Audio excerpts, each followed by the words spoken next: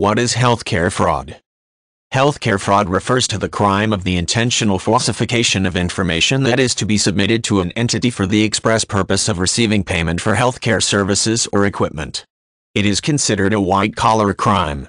The targeted entity is almost always a health insurance company, but it also can be a branch of government that provides healthcare. There are a variety of ways in which medical services fraud can be committed. Most of them involve falsifying information on an insurance claim. Patients as well as doctors and suppliers of medical equipment have been found to knowingly participate in healthcare fraud, which contributes to the rising costs of healthcare services, equipment and prescription medications. Those persons' criminal actions might be profitable for the patient, for the doctor or other healthcare provider or for the medical supplier. One form of healthcare fraud is committed when a patient's diagnosis is falsified to justify the performance of tests, treatments, procedures and even surgery that is not medically necessary. For example, medical insurance companies generally do not offer coverage for cosmetic surgery, but a cosmetic surgeon might falsify the claim submitted to an insurance company in order to receive payment.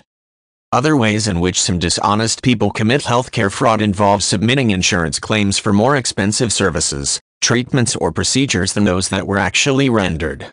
This is sometimes accomplished by a technique known as upcoding.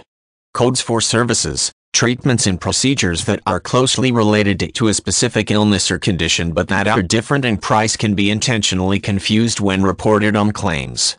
Healthcare fraud also is committed when billing for a single treatment, procedure or service is done in unnecessary stages, leading to multiple payments for what should have been paid in only one payment. Modifying patient co-payments and deductibles established by the covering insurance company is another form of healthcare fraud. Sometimes these payments are waived and the claim changed to collect more money than what should be collected to cover the patient's out-of-pocket expenses. Healthcare fraud is even extended to the black market.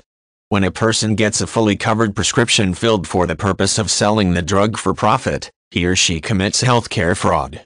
Beneficiaries of healthcare benefits can help to reduce fraudulent activity by reporting their suspicion of fraud, which usually can be done anonymously.